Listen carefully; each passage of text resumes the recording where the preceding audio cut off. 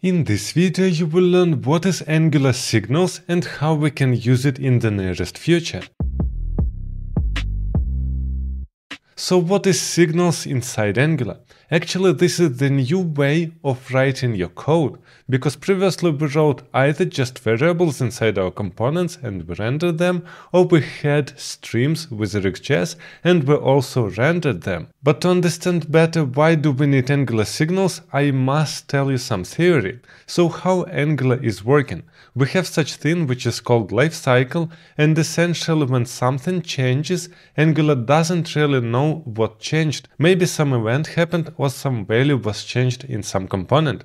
Angular is running digest cycle from the top to the bottom of all components and it checks every single component for the changes. And as you can understand, this is really a magical process because you don't need to do anything, you simply change some values and then Angular re-renders the whole application. But when you have lots of components and lots of things to check, Angular becomes really slow. This is why we're getting things like on-push change detection, which is not really a fix but more like a hack, so Angular won't check that much. This is why now we have something new which is called Angular Signals. So in comparison how change detection works, signals are working completely different. You have a signal where you are changing a value and you have some consumers of the signal which are notified directly when you change the value. So Angular doesn't need to traverse the whole components tree in order to check if we did some changes. So this actually must bring our Angular applications on the next level. So can we already use Angular signals? We can not, but if you will install Angular 16 and at the moment of this video we have a stable Angular 15 15, then you can test it out, which actually means you will get Angular signals in the nearest future. This is not just something which is planned, it will be released in the next version. So here I have an Angular 16 and let's try to create a signal here. So inside our app component I just want to create a variable title.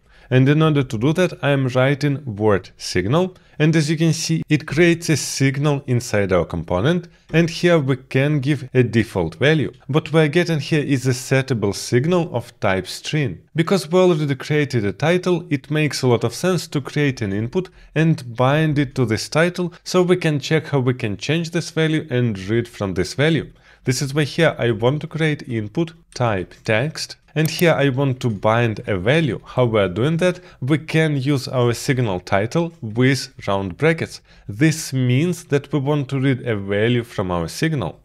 After this we are creating an event, it will be key up event, and let's create here a function change title, where inside we are passing our event. And after this I want just to call title with round brackets so we can see the value of the title inside our component. Now let's create this change title function. So here we are getting our event, of type event. And now here we want to read a value, essentially our title. So here we can write event.target and we must type set it to HTML input element dot value. So we successfully got our title from the input, now we must set it inside our signal. For this we can call this dot title dot and we have several methods, actually three of them. We have mutate, update and set and actually set is the easiest, we simply throw inside the new value, overriding everything that we have inside.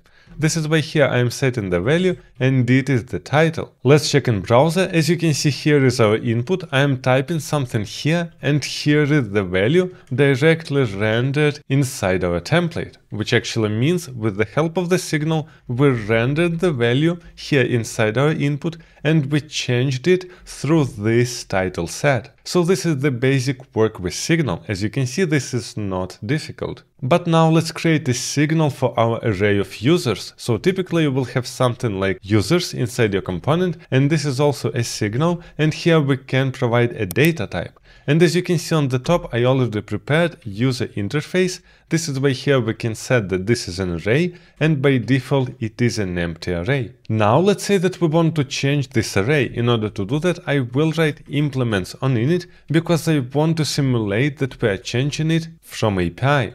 So here we have our ng on init and we can write here set timeout and just change a value after 2 seconds. So in order to do that we can write this user set just like we did previously and provide inside an object with id for example 1 and name foo. What we can do now we can just console log these users with round brackets. But here we also want to increase our timeout, for example, to 2 seconds. Let's check this out. I'm reloading the page, we don't have any users, and after 2 seconds we are getting here our user with ID1 and foo. So now you know how set is working, what alternatives do we have? Here we can also write this users.update.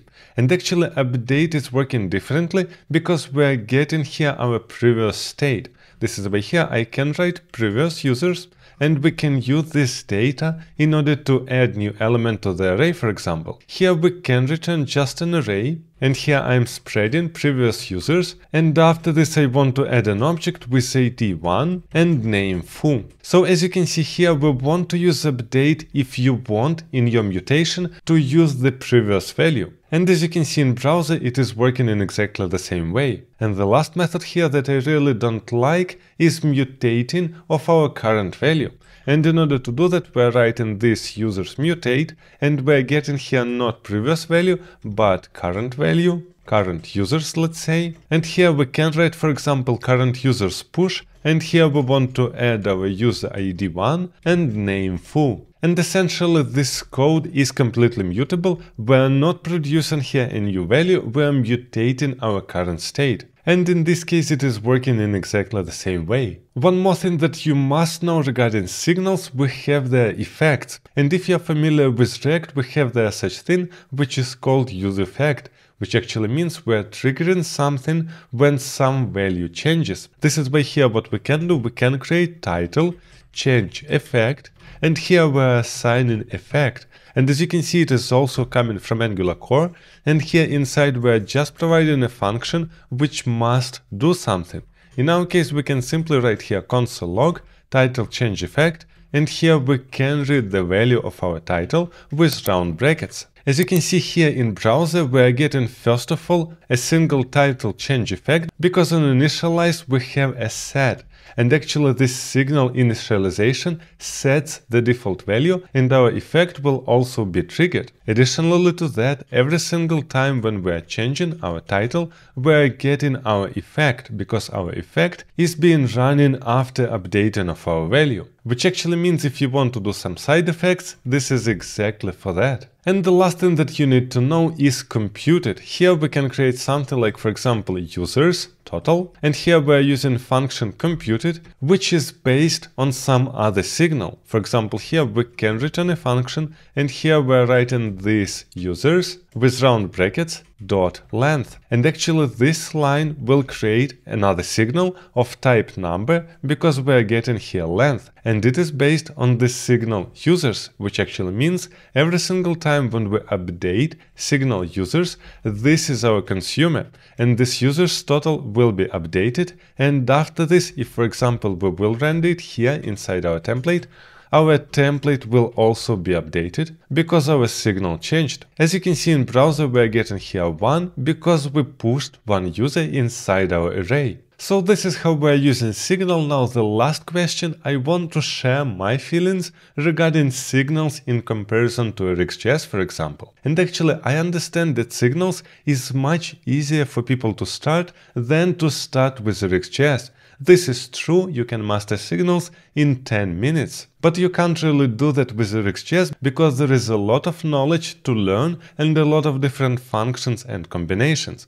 Essentially, RxJS is a super powerful tool, but it is not suitable for beginners. The main problem that I see is Angular leverages RxJS a lot and is using it inside a lot. And now we're getting something completely new, which is called signals, and now the question is how we will use together Angular, Signals, RxJS, and if it still will be valid at all. Or we will just throw away RxJS completely and just stick with the signals. So from my point of view, introducing a completely new layer of abstraction inside Angular is questionable. But this is what we are getting in the nearest future and you need to know how to use that. And actually, if you are interested to know how to create standalone components inside Angular, which you can already do, make sure to check this video also.